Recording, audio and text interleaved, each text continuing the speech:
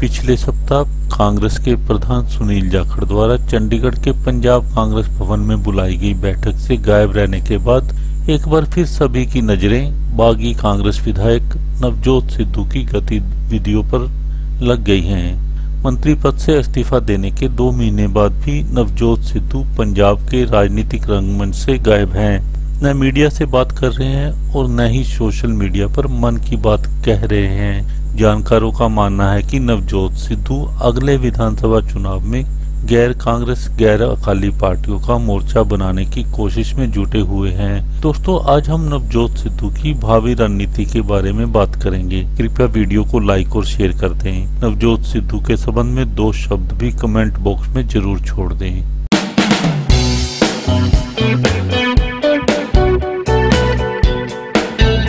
चलो अब शुरू करते हैं। नवजोत सिद्धू और कैप्टन अमरिंदर सिंह के मतभेद लोकसभा चुनाव के दौरान खुलकर सामने आ गए थे।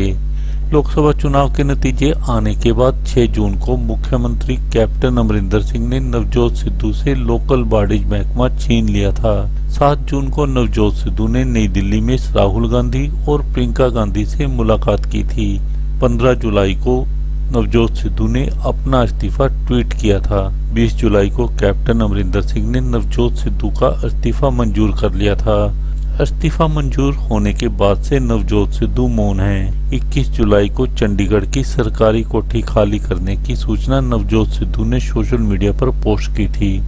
तो उसके बाद नवजोत सिद्धू ने ट्विटर या फेसबुक पर कोई पोस्ट नहीं डाली है। विधानसभा के मानसून सत्र से भी पूरी तरह से नवजोत सिद्धू गायब रहे थे। सुनील जाखड़ द्वारा बुलाई गई विधायकों और सांसदों की बैठक में भी नवजोत सिद्धू नहीं पहुँचे थे।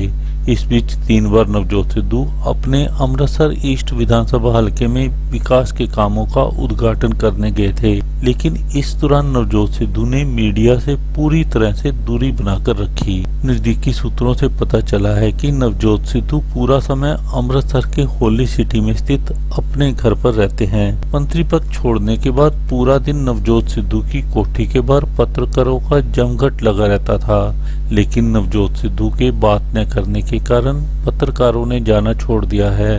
नजदीकी सूत्रों के अनुसार नवजोत सिद्धू फ़ोन पर भी किसी से बात नहीं कर रहे। इस्तीफा देने के बाद कई कांग्रेसी विधायकों ने नवजोत सिद्धू से मिलने की कोशिश की थी, लेकिन नवजोत सिद्धू ने किसी को भाव नहीं दिया।